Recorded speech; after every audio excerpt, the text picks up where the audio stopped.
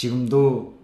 제2차 평양 제일백화점 상품 전시장을 돌아보시면서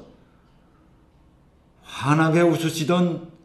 경애하는 장모님이 모습이 어려와